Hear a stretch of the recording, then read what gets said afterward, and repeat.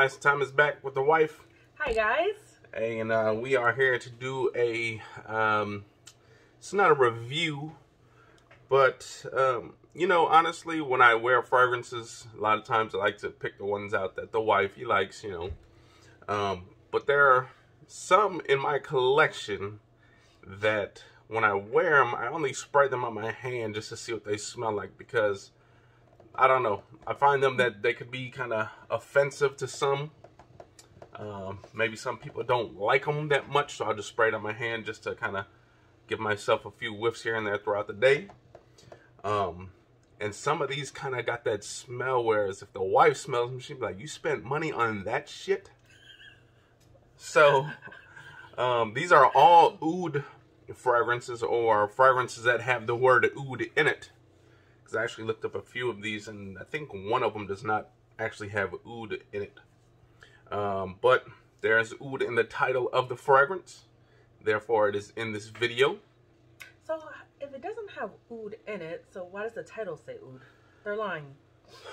Well, it probably could have been because sometimes oud could be um, known as like a woody, musky smell, and maybe it has that in it from other, you know, notes that kind of gives it that oud effect, even though it doesn't have oud in it.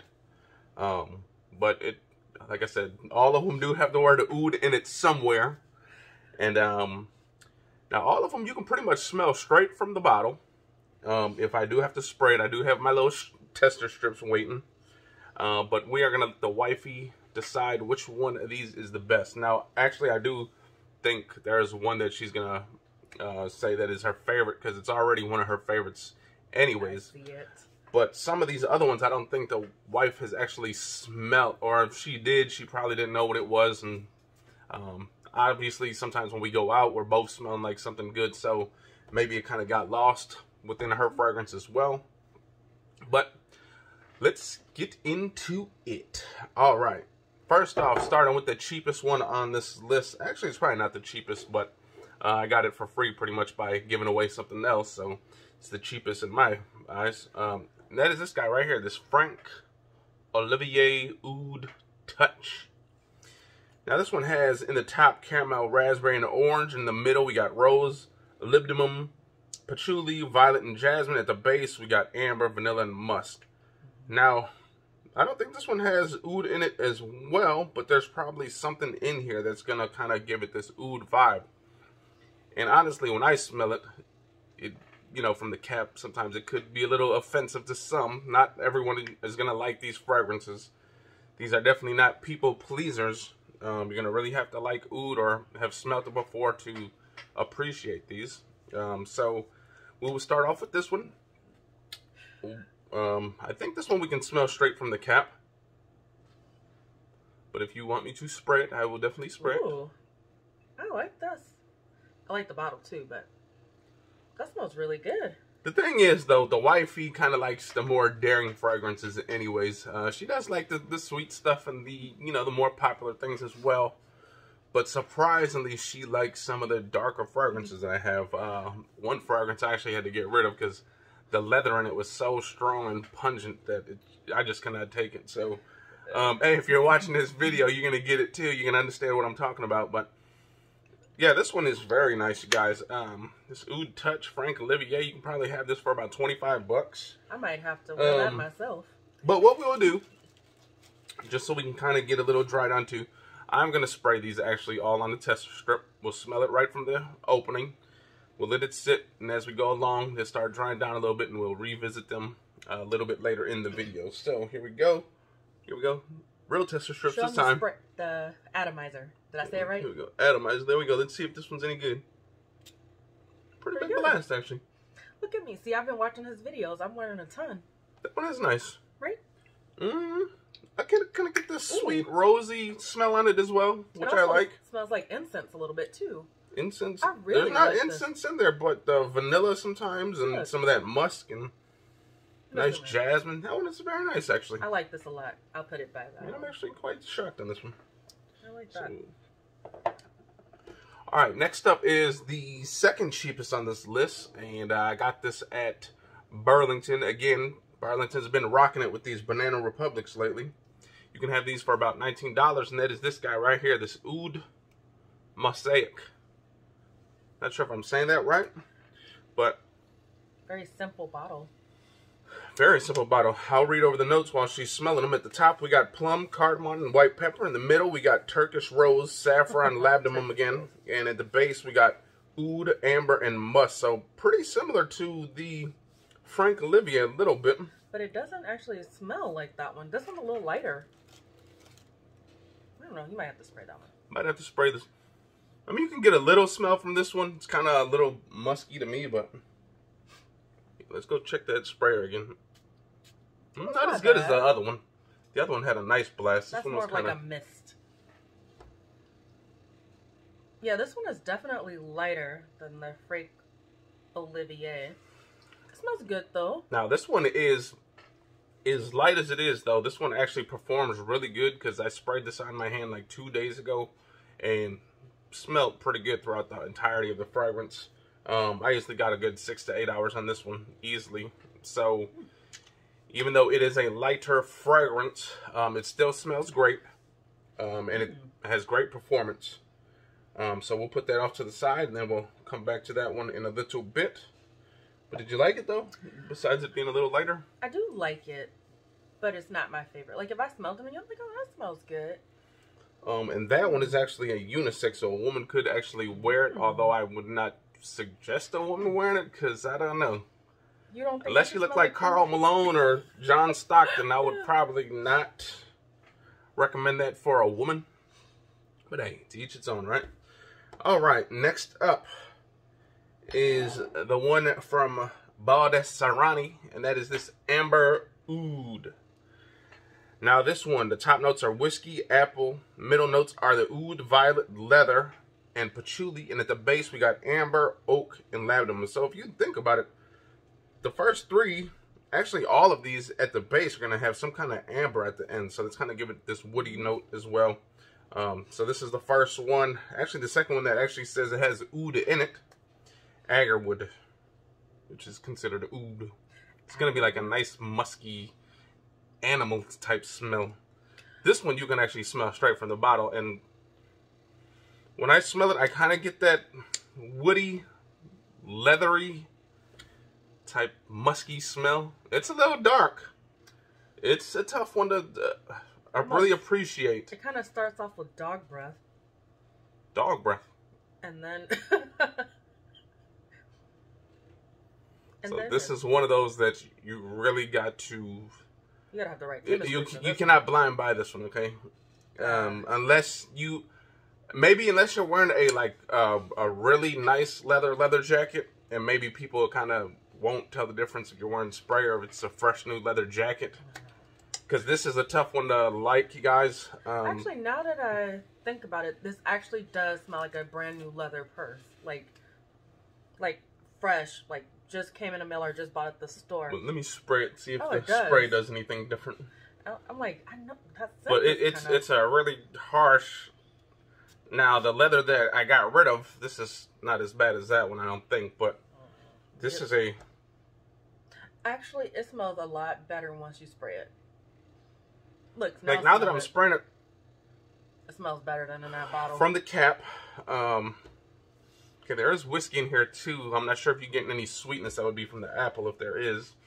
there is a I'm smelling like a touch of sweetness. It's not too much, but it's a nice fresh sweetness. If anything, it's not like a sugary candy sweetness to me. It's like a fresh sweetness, but You know what I'm gonna say? It actually just smells like a sweet drink. You know, if you ever get like a sweet whiskey drink Yeah, maybe, or a like- sweet whiskey brandy, or yeah, like with some leather.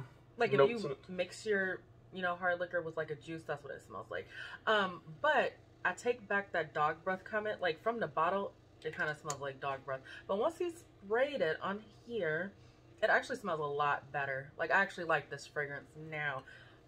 Now, this one is definitely um, probably in the top two as far as bottle design and just how elegant this bottle is. But this bottle is a heavy monster. You drop this on someone's head when they ain't looking, they're gonna feel it.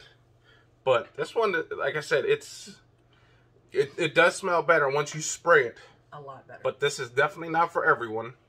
Um, I mean, You can't go like honestly. I don't see no one under like twenty five enjoying this.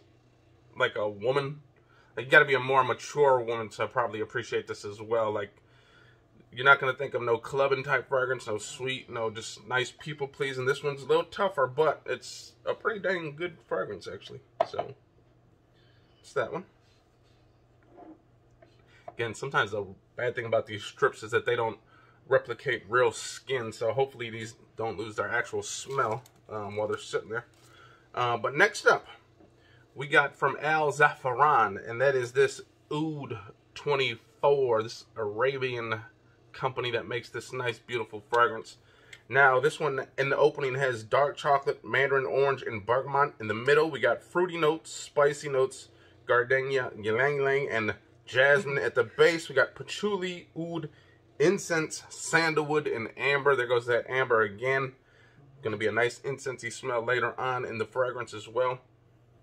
But straight from the bottle, you can smell it, and that is a damn good one. I like Ooh. that one. I like this a lot. That is probably straight from the bottle. That's the best one so far. It definitely I think like she's gonna like something different that we got later on coming up. But I so like far, I think that one straight from the bottle smells the best. Oh, like I can get some sort of like, like, not floral, but it definitely smells like Well, something. it is floral. I mean, it could be the ylang ylang and the jasmine and this. Oh. I'm not sure what this gardenia is. Is that like a like gardeny type Yeah. flower or something? I it's don't, a, it is a flower, I don't know but what that is, but it it smells super fresh. You know, like when you go outside and you smell like fresh. I guess flowers. It just smells fresh. It smells really good. So you, it, it's dark and it's kind of fresh. You got this dark from that dark chocolate, giving it a little bit of bitterness. Bergamot, you know, that's going to be that citrus. Some spicy notes. Again, that could be cinnamon and, or clove or something like that. Usually, when they say spicy notes, it's usually what they're trying to say. But cinnamon, clove, anise, star anise, stuff like that. Oh yeah, I definitely. Ooh, I like this. But this stuff is potent too, you guys. Um, Maybe no two. summer or spring type wearing with this one. Two sprays is all you need. Ooh, Um, I like nice, elegant sweater, nice, elegant overcoat is going to be nice with this one. Nice pea coat. Outdoors or a nice, you know, maybe a nice, sexy date night fragrance. Definitely. But this stuff is bomb. You guys, if you guys never smelt this, get your nose on it. I think this is actually, um, if I'm not mistaken, it's a clone on a Tom Ford fragrance. Uh, I think it's called Black Orchid, and I've never smelt that one. But if this is anything like it, it's a damn good fragrance. Yeah, I was it gonna say, probably a performs just as good, or if not better. hmm And this is only like 35 bucks. So 35 bucks.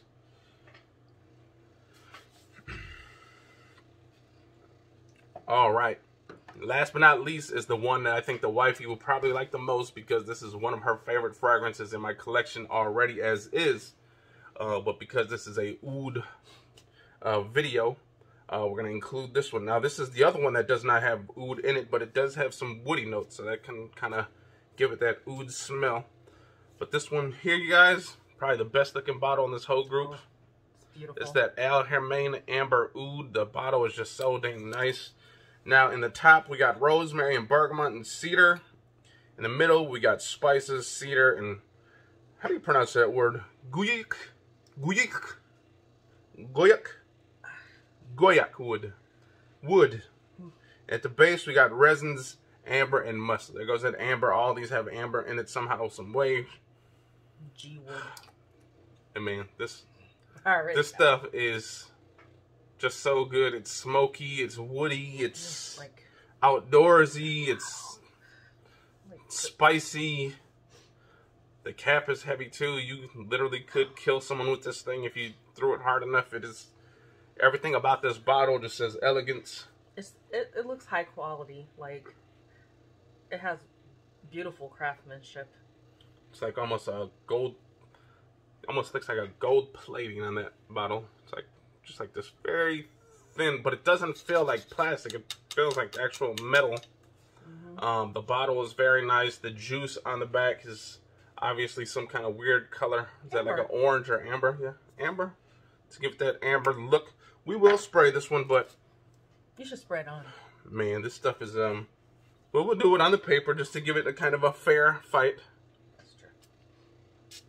See, that Oh, has a nice atomizer. This thing sprays like a damn boatload of juice. You wanna smell? Oh man, that that resinous smell, that spices, man, it kind of gives off this almost that star anise type spice too as well. Not sure if that is in there, but getting a little bit of rosemary, a nice little fresh herb up at the top, whatever. But man, that man, that um, that one is a tough one to beat. So now what we are gonna do we can give each one of these one more smell. Now, obviously, the first one that we sprayed has definitely had a little bit of time to kind of dry down a little bit, so we'll start from that one again. Again, that is this Oud Touch. And we will smell this again, see if it's kind of evolved a little bit. I like this bottle a lot. This one's definitely changed a lot, actually. Um, it's almost kind of like this sweet. It almost gives me like this sweet cherry vibe or something like that. Maybe it could be from the rose or whatever, like this florally note, but it's gotten like a little sweeter, um, I think, but not like Ooh, sugary sweet or candy sweet. Just like a floral, like, like a, a I don't know if that makes any sense. A floral sweetness, but there's something sweet going on in there. Uh, but it's definitely changed a lot actually since the first initial spray, which I actually liked. Was pretty good dry down on that one. Next up is the Banana Republic Oud Mosaic. Again, nice, lovely bottle. it's just plain, nice and simple, very clean bottle. Um, this one, I would say this one hasn't really evolved yet. Pretty much smells the same, kind of light. Um, still kind of woody and musky and stuff like that, and pretty good. I like it. It's probably that Turkish rose. You guys ever smelt the Turkish rose in your life? This is very simple. Right. So here's up Amber Oud from bottle is Man, that one again got that nice leathery notes to it. Um, it's kind of woody and musky. Kind of getting like this slight whiskey vibe. Not really getting that am- that apple that much no more. That kind of where we said earlier was kind of like a crisp, fresh type smell on this one. But that leather is still pretty popping in there. I think that leather and Mhm. it's kind of musky. It's pretty damn good. I like that one. I like that one too. Next up is that Oud 24. Man, this one is still popping off this paper, you guys. Again, you really don't need many sprays now. If you, if you really like, if you, if you really got to go heavy on this sprayer, do it outdoors, mm-hmm. and then kind of, you know, wait outside a little bit, let that breeze, you know, kind of brush a little bit of that off. Because if you spray this and just jump right into a car or something like that, it's gonna be pretty potent. But it's still pretty strong off this paper. Getting like those um probably that Ooh. chocolatey, that them florally notes that we said earlier. We got them spicy notes, a few Oof. fruity notes. I'm not sure what fruits are in here, but That is like, pretty nice. It could be some sort of orange or like some kind of spiced orange, some dark. ooh. But that one is good, you guys. Um, again, two sprays really is all you need. But if you do got to go heavy, do it outdoors first, then go inside. Last but not least is this guy that we both think will probably be the winner. But man, I don't know that. Ooh, 24 is kind of sneaking up on here. Let's smell that one more time. See if it's changed a little bit. Oh, There we go.